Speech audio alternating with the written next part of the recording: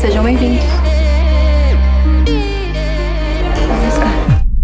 ये आपको एक इंडियन शो लग रहा होगा राइट बट ये एक ब्राजीलियन शो है, जिसके इवन एक्टर्स भी ब्राजीलियन है, फिर भी उसके सभी एक्टर्स इंडियंस दिखाए गए हैं, यहाँ तक कि उनके नेम्स भी इंडियंस है। अब ये इमेज देखो, ये इंडियंस जैसे साड़ी पहनी हुई औरत आज के मॉडर्न डे अमेरिकन की एंसेस्टर है विच डीपली सजेस्ट कि शायद आज के अमेरिका की एंशियंट रूट्स इंडिक है। यूएसए के San Francisco de Young museum में ये एक मूर्ति स्थित है, जो वहाँ के एक नेटिव ट्राइब माया ट्राइब के रेन गॉड की मूर्ति है, जिनका नाम है चाक इस मूर्ति को अगर आप ध्यान से देखोगे तो इनके चेहरे पे एक सूंड है। बिल्कुल हमारे गणपति भगवान की तरह। अब ये मायास के रेन गॉड क्यों थे? इसके पीछे बहुत इंटरेस्टिंग स्टोरी है, जो हम आगे डिस्कस करेंगे। बेसिकली चाक हमारे इंद्र भगवान और गणपति जी के एक फ्यूजन गॉड है। लेकिन अब ये मूर्ति देखो the monkey god central American country Honduras में ला सिउदाद ब्लैंका आई होप मैं नाम सही बोल रही हूँ, नाम के एक आर्कियोलॉजिकल साइट में ये मूर्ति पाई गई थी। और इस मूर्ति को तो अगर आप ध्यान से नहीं भी देखोगे ना तो भी आपको समझ जाएगा की ये हमारे हनुमान भगवान से काफ़ी ज़्यादा मेल खाती है। लेकिन आज के मॉडर्न डे अमेरिका का हमारे एंशंट इंडिक कल्चर से क्या रिलेशन है? वेल well, 1940s में मेक्सिको के एक फॉर्मर फेडरल जज ने प्राउडली ये क्लेम किया था कि मेक्सिको की नेटिव पॉपुलेशन एक्चुअली हिंदूज है। नेटिव पॉपुलेशन इसका मतलब क्या होता है? अगर हम सिर्फ़ यूएसए को भी देखें तो उनके ही ब्यूरो ऑफ़ इंडियन अफेयर्स ने ऑफिशियली 574 नेटिव अमेरिकन ट्राइब्स को ऑफिशियली रिकॉग्नाइज किया है। लेकिन अगर हम प्री कोलंबियन एरा यानी कि अमेरिका के डिस्कवर होने से पहले की बात करें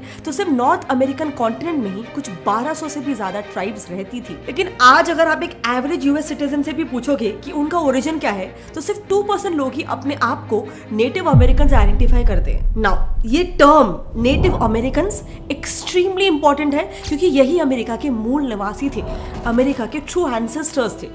But your is the best part in American के कई सारे रिकॉर्ड्स ये बताते हैं कि इनके प्रैक्टिस हिंदुइज्म से या फिर एंशियंट इंडिक कल्चर से काफ़ी ज़्यादा इंस्पायर्ड थे। लेकिन एक मिनट हम इस बात को ऐसे ही क्यों मान लें? इसीलिए आज की वीडियो में हम एग्जैक्टली exactly इसी बात के डेप्थ तक जाएँगे कि क्या ये क्लेम कि अमेरिका ओरिजिनली एक इंडिक सिविलाइजेशन था ये सही भी है या नहीं? एंड इसीलिए बहुत ज़्यादा इंपॉर्टेंट है कि आप इस इशू को एंड तक देखो वरना आप सिर्फ़ आधी बात को ही समझ पाओगे। सो so, 1940s में एक काफ़ी renowned but ground breaking book publish हुई Hindu America by author Chaman Lal ji उन्होंने इसके अलावा भी तीन और बुक्स लिखी है और हिंदू अमेरिका इस बुक के इंट्रोडक्शन को खुद श्री एस राधा कृष्णन जी और मिसेस सरोजिनी नायडू जी जैसे कई इंडिया के एमिनेंट पर्सनालिटीज ने इसके इंट्रोडक्शन को खुद ड्राफ्ट भी किया एंड हमारे देश के first president doctor Rajendra Prasad ji ने इसे खुद रीड और एक्नोलेज भी किया है। चमन लाल जी अपनी किताब में लिखते हैं की जब उन्होंने खुद उस दौर में अक्रॉस अमेरिकन कॉन्टिनेंट ट्रेवल किया था, तब उन्हें वहाँ के कुछ ट्राइब्स और इंडियन हिंदूज के बीच काफ़ी cultural religious and most important physical similarities दिखी थी। सो so, सबसे पहले हम स्टार्ट करते हैं दोनों सिविलाइजेशन के बीच के रिलीजियस सिमिलैरिटीज से। इन्हें देखो। ये है त्लालोक जो कई ancient American civilisation mainly Aztecs के भगवान है। और ये है चाक जो मेनली माया ट्राइब्स के भगवान है। अब ये दोनों भी भगवान हमारे इंद्रदेव की तरह ही एक रेन गॉड है। एस्टेक्स और मायाज आज भी सेंट्रल अमेरिका के इन इलाकों में एक छोटी ट्राइबल कम्युनिटी है एक्सटेंट नहीं हुए। लेकिन इंट्रो में मैंने बताया था कि चाक भगवान के पास गणेशा जैसी एक सूंड है। सो हमारी ये बुक उस टाइम के टाइम्स ऑफ़ इंडिया के एक article Indian deity which reach America को कोट करते हुए कहती है कि हिंदुइज्म के इंद्र भगवान का कॉन्सेप्ट इंडिया से सेंट्रल अमेरिका और मेक्सिको पहुँचा, जहाँ पर वो गणेश भगवान के एलिफेंट हेड के कॉन्सेप्ट के साथ मर्ज होकर कई ट्राइबल कम्युनिटीज में पॉपुलर हो गए as Chaac the rain god. Also native American में शिवलिंगा के कॉन्सेप्ट का भी एक झलक दिखता है। Bureau of etymology of the government of US ने खुद कई सारे इलेबरेट रिपोर्ट्स पब्लिश किए हैं, जिसमें उन्होंने ये क्लेम किया है कि कई नॉर्थ अमेरिकन इंडियन ट्राइब्स के एक चीफ गॉड द टंकन एक स्टोन गॉड है, जिनको वो ट्राइब्स डेली प्रे भी करते हैं। इसको जब हमने इंडिपेंडेंटली सर्च किया तो मॉडर्न टाइम्स में भी आप सेंट्रल अमेरिका में शिवलिंगा और उनके बेस एक योनी शेप्ड पॉन्ड के एविडेंसेस देख सकते हो। 2021 के पास ही भागीरथ जोशी नाम के एक हिस्टोरियन जो एक archaeology survey organisation archaeology C twenty one के एग्जीक्यूटिव डायरेक्टर भी है, वो हाल ही में मेक्सिको के तुलुम इलाके में एक एंशियंट टेंपल के रूइंस को स्टडी कर रहे थे। और तब उन्होंने जब एक लोकल मायन गाइड से वहाँ के शिवलिंग के बारे में पूछताछ की, तब उन्होंने खुद कहा कि उनकी माया ट्राइब इस भगवान को जिबालबा बुलाते हैं, जो संस्कृत में शिवालया का ही एक वेरिएशन है। This is the guy he is my Maya guide who took me all over the name of the god? Shivalva. Shivalva. Shivalva. Shivalva. Yes. Is the god of the underworld. Underworld. underworld. Okay. Shivalva. Very nice. Mm -hmm. Thank you. इसके अलावा हम सबको पता है कि भगवान राम सूर्यवंशी या फिर द सोलर डायनेस्टी से थे। लेकिन बुक ये बताती है कि कई एस्टेक माया और इनका ट्राइब के रूलर्स भी खुद को सूर्यवंशी बुलाते थे। और ये मानते थे कि काफ़ी इयर्स पहले सन से एक मैन और उनकी वाइफ नीचे उतरे थे और उन्होंने ही इन ट्राइब्स को गुड वैल्यूज़ लॉज और गवर्नेंस सिखाया। लेकिन चलो अगर आप इन सारे सिमिलरिटीज को माइथोलॉजिकल सिमिलरिटीज या फिर सिंपली स्टोरीज भी मान लो, तब भी कुछ काफ़ी एविडेंट कल्चरल सिमिलरिटीज है जो एंशियंट इंडियन सिविलाइजेशन और नेटिव अमेरिकन को कनेक्ट करती है। बुक में मेंशन है इरोक्विस जो एक नॉर्थ अमेरिकन ट्राइब है। उनमें भी शादी के दौरान लड़की के मांग में सिंदूर भरने का एक रिचुअल होता था। उनके क्रिमेशन प्रोसेसेस में भी काफ़ी सिमिलरिटीज है। नेटिव ट्राइब्स में रूलर्स और इन जनरल प्रेस्टिजियस लोगों को क्रिमेट यानी कि बर्न किया जाता था। बरी नहीं। मोर सो अक्सर उनके एशेस को कलशों में रखकर उसके ऊपर टेम्पल्स बनाए जाते थे, एक रिचुअल जिसे हिंदुइज्म में हिंदू समाधि कहते हैं। Also places of worship Mexican और एस्टेक ट्राइब्स पर्टिकुलरली अपने टेम्पल्स को त्योकाली बुलाया करते थे, जो हिंदू टेम्पल्स के लिए यूज़ देववली और टर्म डिराइव फ्रॉम देवालय से काफ़ी मिलता जुलता है। फिर यूएसए और कनाडा के कई सारे नेटिव ट्राइब्स आज तक एक सन डांस सेरेमनी परफॉर्म करते हैं, जिसमें वो एक पोल के ऊपर स्विंग करते हैं। एंड इसके लिए कई ऑर्गेनाइजेशन भी स्टैब्लिश है, जो डोनेशन मांगकर इन रिचुअल्स को आज भी ऑर्गेनाइज कर रही है। लेकिन इनका ये सेरेमनी बंगाल में अभी भी परफॉर्म किया जाने वाला चरक पूजा से काफ़ी सिमिलर है। अब अगर in general life style and physical features की सिमिलरिटी की बात करें तो आई थिंक इसके तो प्रूफ आज तक बहुत ही एविडेंटली मौजूद है। ये सारे फेसेस अमेरिकन कॉन्टिनेंट के कुछ कंट्रीज़ के लोगों के हैं, जो आज के मॉडर्न टाइम्स में भी काफ़ी ज़्यादा रिजेंबल करते हैं हम इंडियंस के फीचर्स से। लाइफ की बात करें तो कई सेंट्रल और south American countries specially Mexico और ब्राजीलियन फ़ूड के स्पाइसेस वगैरह हमारे इंडियन फ़ूड से काफ़ी ज़्यादा मिलते जुलते हैं। मेक्सिकन चपाती टोटिया तो रोटी जैसे काफ़ी सिमिलर है। और बीन्स एक काफ़ी स्टेबल फ़ूड है जो इन कंट्रीज़ में पाया जाता है just like our north India Chaman Lal ji अपने बुक में बताते हैं कि उन्होंने अपने अमेरिका के टूर के दौरान ये भी ऑब्ज़र्व किया कि कई पेजेंट्स खेतों में काम करने के लिए मक्के के आटे का एक डो लेके जाते थे, जिसे वो पानी में मिला के पीते थे, बिल्कुल जैसे हमारे यहाँ पे सत्तू बना के पीते हैं, जो जौ या फिर बार्ली के आटे का बनता है। क्लोथिंग की बात करते हुए चमन लाल जी काफ़ी यूनिक इंसिडेंट को कोट करते हैं। वो बताते हैं कि वो एक बार अपने पेशावरी चप्पल पहन के मेक्सिको गए थे, तब वहाँ के लोग उन्हें देखकर काफ़ी ज़्यादा शॉक्ड हो गए थे, क्योंकि उनके चप्पल मेक्सिकन चप्पल के डिज़ाइन से काफ़ी ज़्यादा सिमिलर थे। उनके ड्रेसेस भी इंडियन ड्रेसेस से काफ़ी मिलते थे एंड सरप्राइजिंगली कई ट्राइब्स की औरतें तो साड़ीज भी पहना करती थी एंड एज प्रूफ उन्होंने अपने बुक में इसके कई सारे फ़ोटोज़ भी अटैच किए एंड ट्रस्ट मी मैंने इस वीडियो में बेर मिनिमम ही कवर किया है।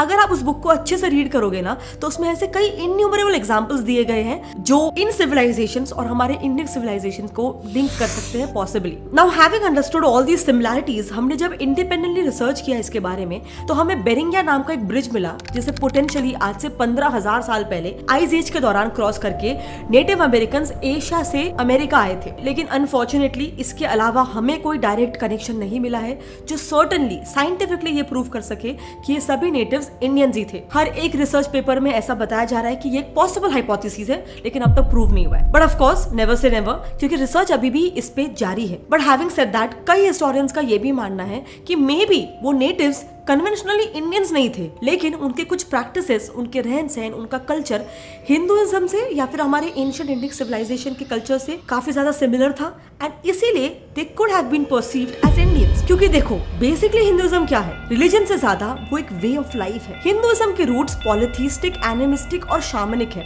यानी हिंदुइज्म का फंडामेंटल ही है नेचर की पूजा करना, जैसे ट्रीज रेन फायर जानवरों की पूजा करना, जगहों की पूजा करना। बेसिकली जिस प्रकृति, जिस एनवायरमेंट में आप रहते हो उसकी रिस्पेक्ट करना। और पॉलिथिज्म यानी एक भगवान नहीं, बल्कि मल्टीपल गॉड्स की पूजा करना, जैसे हिंदुइज्म में होता है। So my basic point is कि Hinduism can be practice in different forms उसमें कोई एक भगवान, एक तरीका, एक कल्चर एक ट्रेडिशन एक प्रैक्टिस नहीं है। अलग अलग तरीके से इसे अपनाया जा सकता है। एंड मे बी इसीलिए द कंफ्यूजन कि ये अमेरिकन वाकई में इंडियंस ही थे, या फिर वहाँ के ही नेटिव्स जो वहीं पे रहते थे वो just happen to be practising a culture very similar to Hinduism क्योंकि एक्चुअली आप वर्ल्ड वाइड जितने भी ट्राइब्स को ले लो जो आज तक प्रिजर्व है, उनके सबके कल्चर्स काफ़ी ज़्यादा एनिमिज्म और पॉलिटिज्म से इंस्पायर्ड है। लेकिन उनके लिंक्स इंडिया से अब तक डायरेक्टली प्रूफ नहीं हुए but nevertheless this remains undeniable कि अमेरिका के कोलोनिज्म से पहले वहाँ पर एक बहुत ही फ्लरिशिंग सिविलाइजेशन एग्जिस्ट करता था, जो पॉसिबली हज़ारों सालों से बहुत ही शांति से रह रहा था। बट कट टू 1492 एंट्री हुई क्रिस्टोफर कोलंबस की,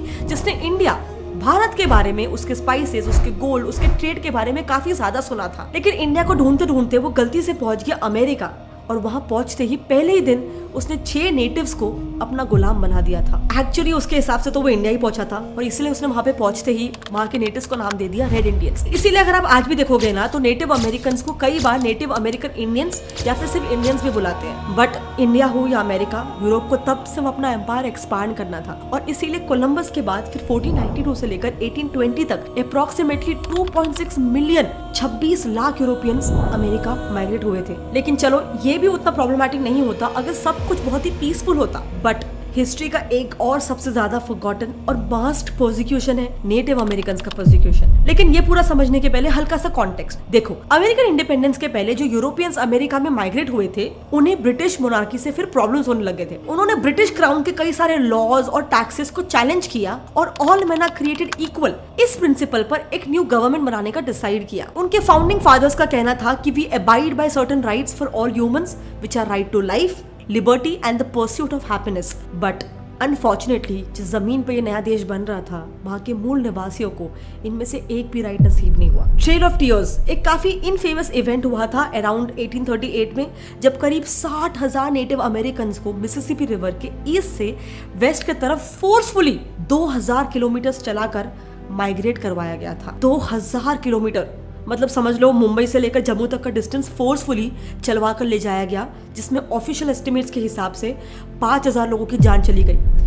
अनऑफिशियल डेटा की तो हम बात भी नहीं कर रहे फिर 1830s में यूएस के तब के प्रेसिडेंट एंड्रो जैक्सन ने एक काफ़ी controversial bill Indian removal bill 1830 पास किया, जिसे बेसिकली नेटिव्स को ग्रीन में मार्क्ड उनके एंसेस्ट्रल लैंड के बदले रेड में मार्क्ड एक न्यू लैंड में एक्सपेल करवा दिया गया। कुछ लोग वॉलेंटरीली मान गए एंड खुद ही चले गए बट जो नहीं गए, उन्हें ऐसे फोर्सफुल ट्रेल ऑफ़ टीयर्स के द्वारा वहाँ पर भेजा गया।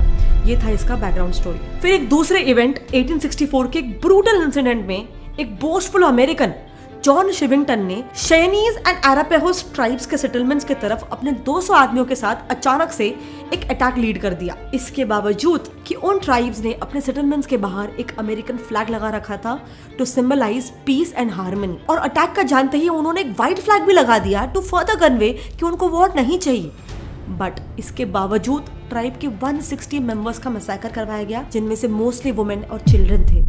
1850s के बाद तो एक शॉकिंग दौर ऐसा भी था कि कैलिफ़ोर्निया के फ़र्स्ट गवर्नर पीटर बर्नेट ने नेटिव्स के एक्सटर्मिनेशन के लिए, हर एक नेटिव अमेरिकन स्कल के लिए पाँच डॉलर्स का इनाम रखा था, जिससे 1846 से 73 तक कैलिफ़ोर्निया की पॉपुलेशन जो पहले डेढ़ लाख थी, वो गिर के बस थर्टी थाउज़ेंड रह गई थी। इमेजिन द ब्रूटालिटी अब ये जितने भी इवेंट्स मैंने बताए हैं ट्रस्ट मी ये तो हार्डली ब्रूटल है। ओवरऑल जितना प्रोसिक्यूशन हुआ है, उसके सामने। आप बस ये लिस्ट देख लो। इसमें नेटिव अमेरिकन के अगेंस्ट हुए हुए सारे प्रोसिक्यूशन के इवेंट्स लिस्टेड है एंड इसको आपको सिर्फ़ स्क्रोल करने में पाँच मिनट लग जाएगा मिनिमम इस प्रोसिक्यूशन का स्केल आप सिर्फ़ इस बात से समझ लो कि अकेले यूएसए में, जहाँ पहले नेटिव्स की पॉपुलेशन 100 मिलियन थी 1900s के स्टार्ट तक उसमें से 95 परसेंट पॉपुलेशन वाइप आउट हो चुकी थी। एंड अगर आज की बात करें तो ऑफकोर्स वाइप आउट होने के अलावा भी इनमें से कई सारे ट्राइब्स कन्वर्ट या फिर मॉडर्नाइज हो गए हैं, जिस वजह से आज इनके रूट्स को ट्रेस बैक करके इनके इंडियन ओरिजिन या फिर इन्फ्लुएंस को वैलिडेट करना काफ़ी ज़्यादा मुश्किल है, क्योंकि काफ़ी सारे इनके जो कल्चरल प्रैक्टिस थे ट्रेडिशन थे रिलीजन था, वो लोग वो आज वो प्रैक्टिस नहीं कर रहे हैं। लेकिन अमेरिका के अलावा एक और कॉन्टिनेंट है जहाँ पर एक काफ़ी डायरेक्ट इंडियन इन्फ्लुएंस आप आज की तारीख में इजिली देख सकते हो अफ्रीका